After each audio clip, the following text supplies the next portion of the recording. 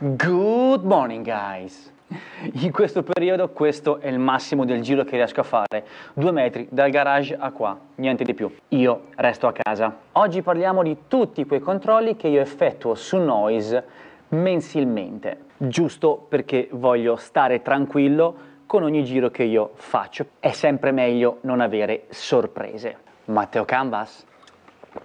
Ah, non ce la farai a farmi bere una birra. Matteo, ragazzi, è un iscritto al mio gruppo Telegram Noise 883 con motociclisti di tutti i tipi possibili da tutta quanta Italia. Il bello è questo perché confrontarsi con motociclisti anche di altre tipologie ci apre la mente e ci fa conoscere cose diverse. Qui sotto in descrizione il link per poter entrare direttamente nel gruppo Noise 883 su Telegram.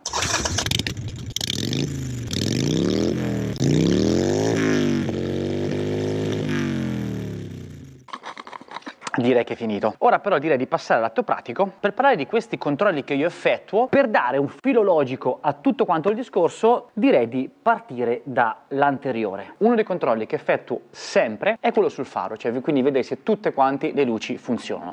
Quindi io metto in moto, luce di, luce, no, luce di posizione e anabagliante, luce abbagliante. Questo è un controllo che fondamentalmente si vede ogni giorno mentre si guida la moto. Io guidando molto spesso anche di notte eh, me ne accorgo più facilmente.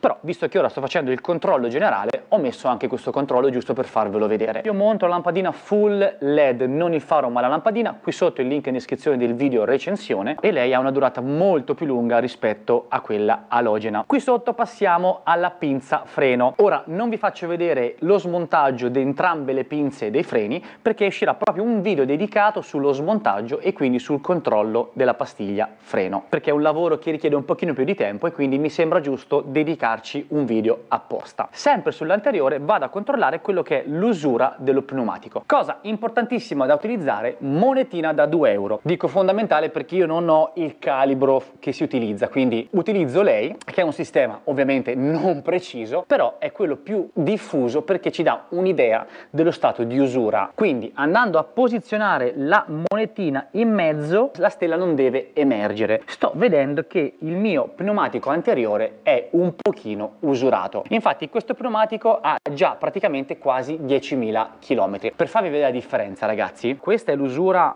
in mezzo, fondamentalmente è l'utilizzo che ne faccio di più io perché non piego. Se vado sulla spalla vediamo che la parte argentata scompare interamente praticamente ragazzi. Ancora non sono da cambiare, vi dico che con l'ultimo set di pneumatici ci ho fatto 22.000 km. Per quanto riguarda l'anteriore, cosa che potevo fare prima perché c'ero, controllare le frecce. Ora mi dite come fai a vederlo? Riesco a vedere che si illuminano le frecce, quindi ce la faccio. Sinistra, destra. Visto che sto controllando le frecce, e le frecce a questo punto anche il freno e lo stop, controllo anche quelle posteriori, quindi facciamo subito questo lavoro. Sinistra, funziona, destra, perfetta, freno sulla pinza, perfetto, freno sul pedale, perfetto. Quindi le luci funzionano benissimo. Ora continuiamo con i controlli. Per quanto riguarda questa parte mi concentro sul filtro, il livello dell'olio e la fluidità visto che ci sono dei comandi. Per il filtro io una volta al mese effetto la pulizia. Ragazzi deve essere un filtro aperto e lavabile. Vi dico già che uscirà un video dedicato sul lavaggio del filtro perché è un lavoro che richiede un pochino più di tempo e quindi ho piacere di farvelo vedere nel dettaglio. Ora guardiamo quello che è il livello dell'olio. Quindi pigio,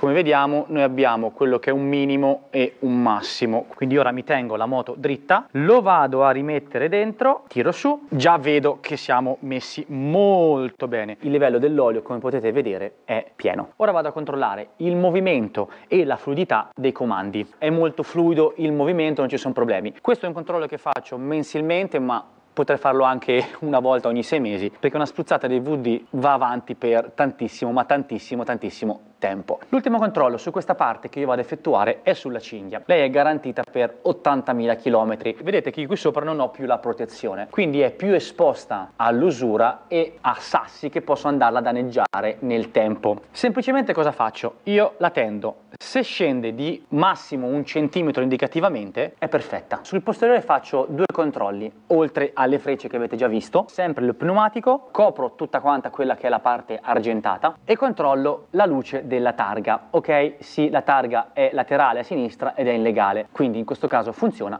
Perfetto. E qua ho un paio di controlli in più che effettuo. Prima cosa che vado a vedere come ho fatto da quell'altra parte sono i comandi avanzati. Quindi questo è una cosa a posto. Un controllo che faccio è sulla batteria. Apro il fianchetto. Se avete visto il video faccio il tagliando la mia Harley, se non l'avete visto qui sopra il link in descrizione, mi si sono allentati questi e clacson e frecce non mi funzionavano bene. Vado a controllare che siano ben stretti. Questo probabilmente è un controllo superfluo più legato a un mio timore più che a una reale necessità. Questo davanti ragazzi è veramente duro e anche quello posteriore è bello duro. L'ultimo controllo che effettuo, in teoria lo faccio ogni volta che prendo la moto, però ci do un'occhiata in più quando faccio tutti questi controlli, è se ho qualche perdita. La moto è completamente asciutta sotto, quindi non ho nessunissima perdita. Come avete visto i controlli che faccio sono molto veloci e semplici da fare, a parte lo smontaggio di una pinza che è una cosa semplicissima da fare e che richiede giusto una mezz'oretta di tempo e la stessa cosa vale per il filtro che vi richiede una mezz'oretta. Se fate tutto quanto insieme diciamo che con un'oretta bene o male ve la cavate molto velocemente. Spero che questo video possa essere stato di aiuto a qualcuno di voi, iscrivetevi al canale e cliccate anche sulla campanina per rimanere sempre aggiornati. Ciao ragazzi!